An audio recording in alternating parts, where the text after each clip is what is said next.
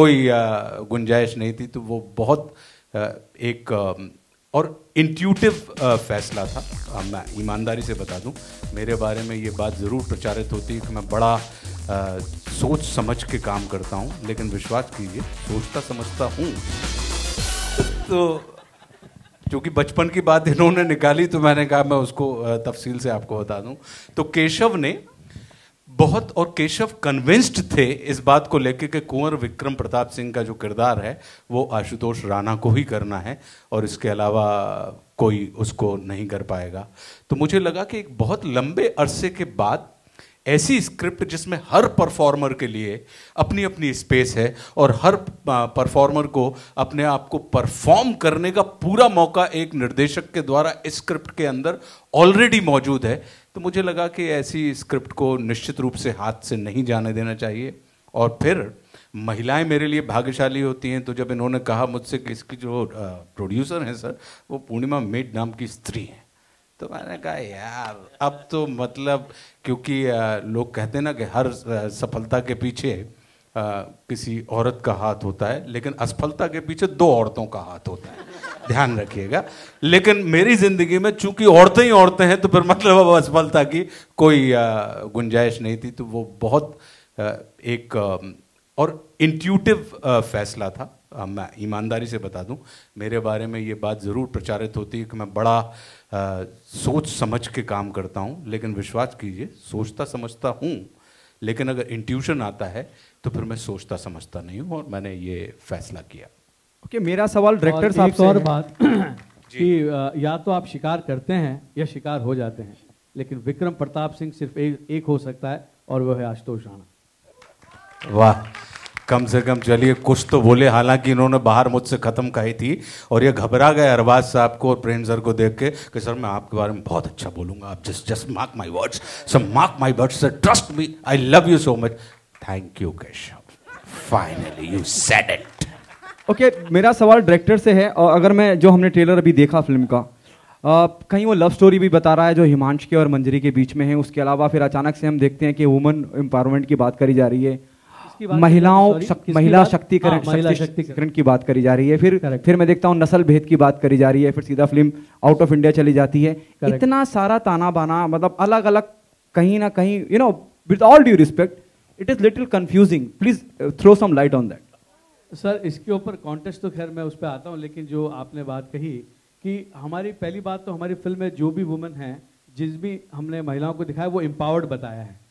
तो crime victims हमारी film में नहीं बताया किसी को, और हमने ये दिखाया कि अपनी इच्छा शक्ति, अगर हमारे में है, कुछ पाने की तमन्ना है तो विदाउट कॉम्प्रोमाइजिंग हम अपने सिद्धांतों पर समझौता किए बिना अपने लक्ष्य को कैसे प्राप्त कर सकते हैं, ये हमने इसमें दिखाया है। और नस्ल भेद तो अब ये तो पूरी दुनिया में व्याप्त है, हमें सबको मालूम है, पहले भी था तो वहाँ जब अमेरिका हम जाते हैं, जब हिंदुस्तानी लोग वहाँ काम करने के लिए जाते थे 90s में और आज भी जब जाते हैं तो ये एक एग्जिस्टिंग प्रॉब्लम है। और रही बात कन्फ्यूज़न की तो कन्फ्यूज़न कुछ नहीं है। एक फ़िल्म है, जिसके अंदर लव है रोमांस है थ्रिल है, उसके अंदर सारी चीज़ें हैं, और इसके ऊपर कॉन्टेस्ट है कि अगर आप स्टोरी गैस करें तो लाख रुपया ले जाएँ हमसे।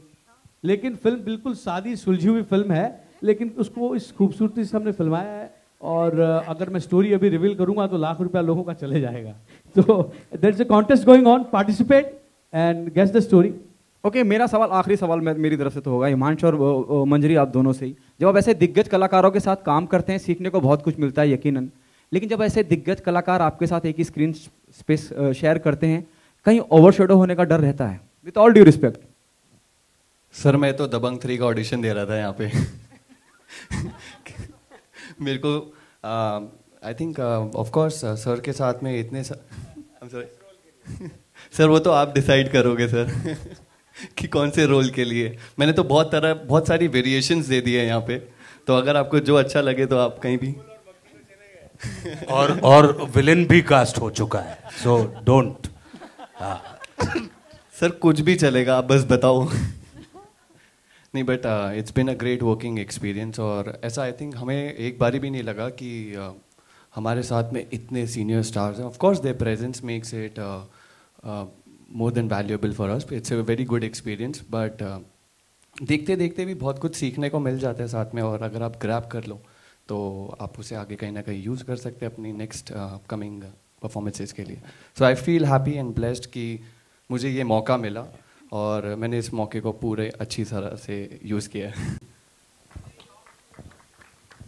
नॉर्मली जब मैं एक्टिंग करती हूँ तो मैं ये नहीं सोचती कि मेरे सामने लाइक मैं किसके साथ काम कर रही हूँ, मैं अपने कैरेक्टर पे ज़्यादा ध्यान देती हूँ। और इनफैक्ट इट ऑलवेज हेल्प्स कि जब आप ऐसे कलाकारों के साथ काम कर रहे हैं तो when you have people like all these people out here working with you who such secure actors who such secure human beings जो अगर आप थोड़ा कम कर रहे हैं, वो आपको इनक्रेज करते हैं। तो आपकी परफॉर्मेंस सिर्फ़ बेटर हो सकती है। So that's what I think Arbaaz जैसे दबंग थ्री की अभी बात हो रही थी आशुतोष राणा जी ने कहा कि वो वो दबंग थ्री के पार्ट बन चुके हैं तो न्यूमरसली क्या इसे सच माना जाए? क्या वो कास्ट हो चुके सब सब कंटेंशन में है। किसी ना किसी का कभी भी नंबर लग सकता है। अरबाज मैं भी हूँ मैं भी हूँ। हो नाम कब उछलेगा ये बात असिस्ट तो मैं कर ही रहा हूँ।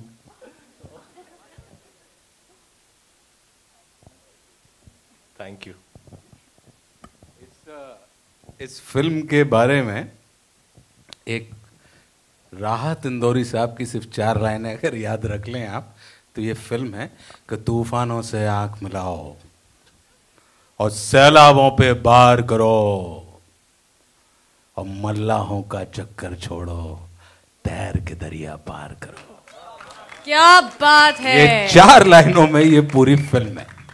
क्या बात है। On that note I don't think there anything better I can add to that so thank you so much last question या do we have one more question to right या so Manjari and Himansh okay the last question okay let's take the last question so Manjari and Himansh as you mention that it was great honour for you guys to work with all these legends lastly this film Gina Isi Ka Naam Hai, how does this movie uh, evolve you as an actor? How do you think this movie is just going to evolve you as an actor? Um, for me, Gina Isi Ka Naam Hai has been uh, the most difficult role I have ever worked on because this film mein jo mera character hai, wo, it starts from the time she's ni- uh, 18, 19 to the time she turns much older.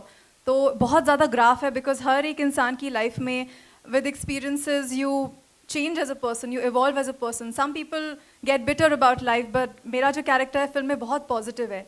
तो उस role को I mean मतलब there is not a single place where my character is constant it's always evolving through the film तो मेरे लिए बहुत difficult था so as an actress it has been a very very challenging experience a very learning experience and and um, and of course keshav has helped me and everybody on this film be it ashutosh sir be it arbaz be it prem sir himansh ko to i taught him sorry so priya ma'am so um, it's, it's been very very very honoring for me to work with all of them so.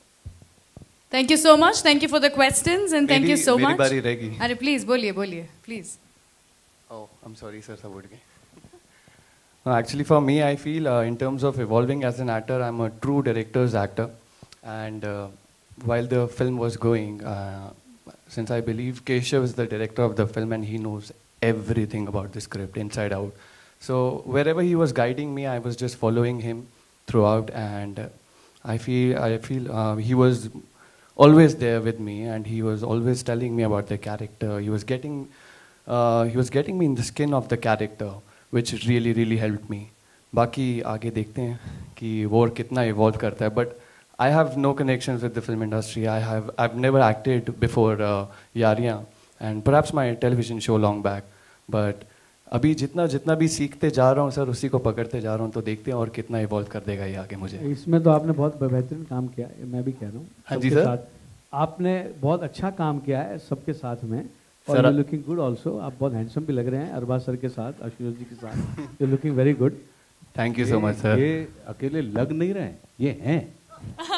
हाँ तुम भैया बहुत खूबसूरत आदमी हो.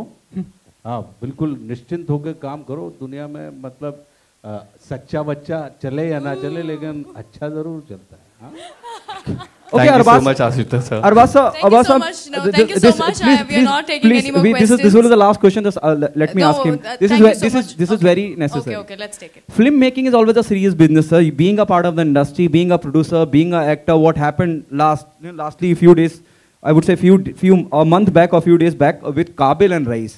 Now there's a producer who's coming in the industry, giving us a film like जीना इसी का नाम है. जब इतने बड़े दिग्गज स्क्रीन को लेकर प्रॉब्लम में आ जाते हैं और स्क्रीन्स नहीं मिल पाती है जितनी एक्सपेक्ट करी जाती है। अब ये एक नए प्रोड्यूसर इंडस्ट्री को मिल रहे हैं, आ रहे हैं। तो इनको क्या सजेस्ट करेंगे being a part of the industry कि किस तरह से फ़िल्म को रिलीज़ करा जाए, कितनी स्क्रीन में करा जाए?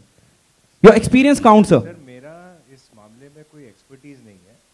We are all evolving and we are all learning and हम, हमेशा कोई भी सिचुएशन आती है तो उसके बाद एक हल अपने आप निकल आता है। मेरे पास इसका कोई अभी एज ऑफ़ नाउ कोई सोल्यूशन है नहीं। I am sure every film maker goes through his own process of where he has to position his film कितने थिएटर्स होने चाहिए कैसे मिलने चाहिए कितना कंपटीशन होगा एंड आई गेस वही एक जीना इसी का नाम है Thank you wow. so much. Sir. That's a brilliant answer. Thank you so much. Let's have a quick photo op once again. All you lovely people on stage.